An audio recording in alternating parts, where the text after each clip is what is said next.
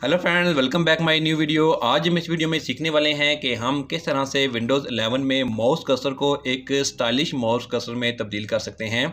जैसे कि आपको पता है कि कोई कोई भी विंडो हो, जैसे कि विंडोज़ 10 हो या विंडोज़ 11 हो, उसमें जो माउस कसर हैं वो बहुत ही सिंपल होते हैं। जैसे कि मैं अभी यहाँ पर आपको कंट्रोल पैनल में जाकर दिखा देता हूँ कि यहाँ पर जितने भी माउस कसर हमें दिए गए हैं, चाहे वो कोई भी विंडोज़ हो, वहाँ पर सिंपल से माउस कसर ही हमें देखने को मिलते हैं। आप देख सकते हैं यहाँ पर जो भी कसर है वो हमें ऐसे ही मिल रहे हैं। तो चलिए स्टार्ट करते हैं कि हम किस तरह से एक स्टाइलिश सा माउस कसर अपनी विंडोज़ में अप्लाई कर सकते हैं। तो सबसे पहले आपने वेब ब्राउज़र को ओपन करना है और यहाँ पर आपने आर डब्ल्यू डिज़ाइनर को सर्च करना है। यहाँ पर आप देख सकते हैं कि आर डब्ल्यू डैश डिज़ाइनर की वेबसाइट होगी। आपने इसे ओपन करना है। जैसे ही आप इसे ओपन करेंगे तो आपने गैलरी में जाना है।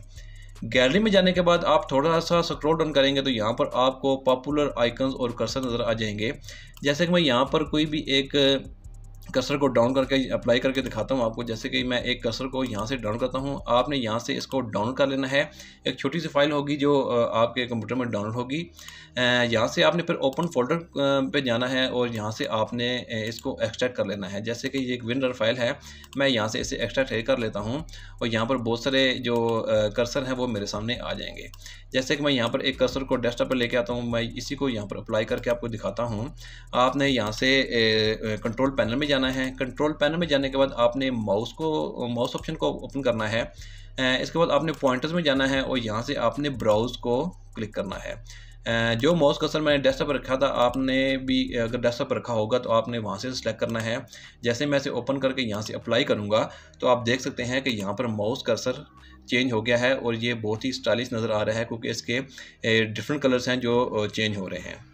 अगर आप इसके अलावा कोई और माउस कर्सर भी सेलेक्ट करना चाहते हैं अपने विंडोज़ में तो आप अपनी मर्ज़ी के मुताबिक कोई भी माउस कर्सर सेलेक्ट कर सकते हैं। जैसे कि मैं यहाँ से एक और माउस कर्सर इसी को सेलेक्ट कर लेता हूँ। यहाँ से आपने डाउन करना है। सिंपल वही तरीका है जो पहले आपको बताया गया था। इसके बाद आपने यहाँ से ओपन फोल्डर में जाना है और यहाँ से आपने इसे एक्सट्रैक्ट हेयर कर लेना है। जैसे ही आप इसे एक्सट्रैक्ट हेयर करेंगे तो बहुत सारे जो कर्सर हैं वो आपके सामने आ जाएँगे।